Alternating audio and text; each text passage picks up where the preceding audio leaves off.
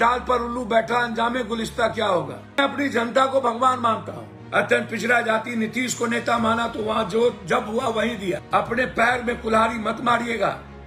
जो निर्णय लेना हो एक ही जगह लीजिए। आप जो देख रहे हैं, दिख रहा है। मैं खास तौर पर एक एक मुसलमान भाइयों से आग्रह करूँगा, हाथ जोड़कर। पैर पकड़ता हूँ। प्लीज़। और अत्यंत पिछड़ी जातियों से, पिछड़े से, कि भैया, रुपौली को चारागाह बनने से बचाएँ। पूर्णिया, एको हम द्वितीय नास्ती, एक ही काफ़ी है पूर्णिया। हर डाल पर उल्लू बैठा अंजामे गुलिस्ता क्या होगा? जब एक ही उल्ला, उल्लू बर्बाद कर दिया है पूर्णिया को तो और आप कितना उल्लू बैठाना चाहते हैं? मेरा आग्रह है आपसे मैं किसी का नाम नहीं लूँगा। लेकिन जिस तरीके से जो लोग रुपौली को अखाड़ा बना रहे हैं और जो ऐसे लोग मैं फिर आग्रह बार बार कर रहा हूँ बीमा जी हो या जदयू हो, मेरा अब दो लोगों के बीच लड़ाई है। और मैं अपनी जनता को भगवान मानता हूँ। और भगवान को मैं अनुग्रही आग्रह करूँगा पैर पकड़ के कि आप नौ महीने के लिए, छह महीने के लिए, नौ महीने के लिए चुनाव है। इस पर अपने स्वतंत्र विचार को मत खोइएगा। भावना में मत बहिएगा। जब बिहार का विकास 40 सालों में नहीं हुआ रुपौली का पुले मैं बनाऊँगा। रुपौली को मैं शरीर बेच के रुपौली को नंबर वन करूँगा। आपको भरोसा है, पप्पू पर?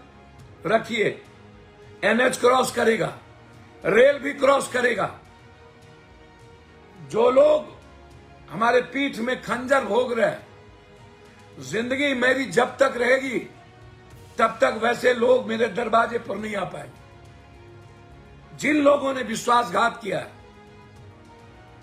मेरे लिए नहीं मेरे लिए कोई दिक्कत नहीं है, जनता काफ़ी है। लेकिन जो ईमान के साथ विश्वासघात करता है, पैसा उसका धर्म बन जाता है। कभी पप्पू, कभी कोई कभी कोई।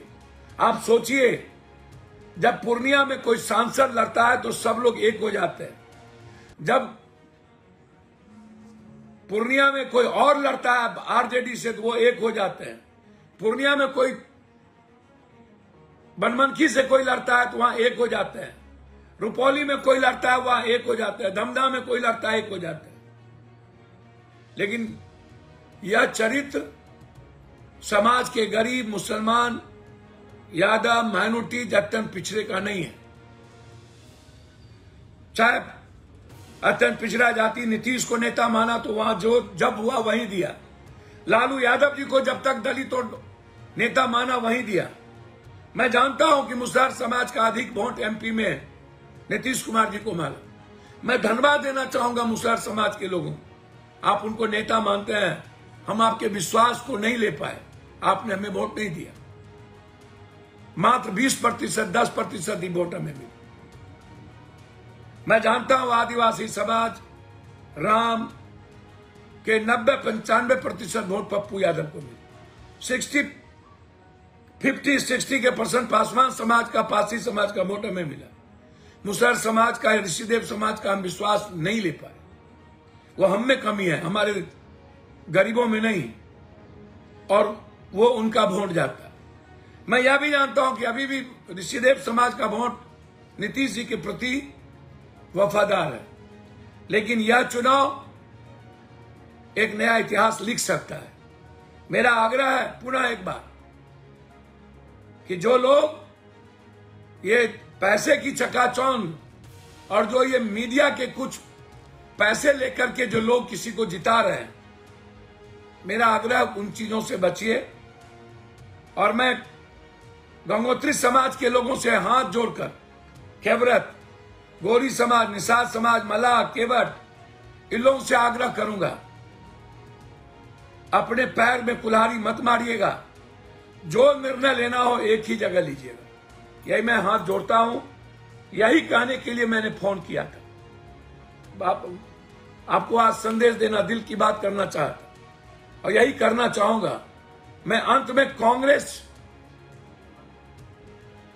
जिस विश्वास के साथ, जिस दल के साथ खड़ा है, पप्पू यादव का पूरा समर्थन, पप्पू यादव का पूरा भावना, उस दल के उम्मीदवार के प्रति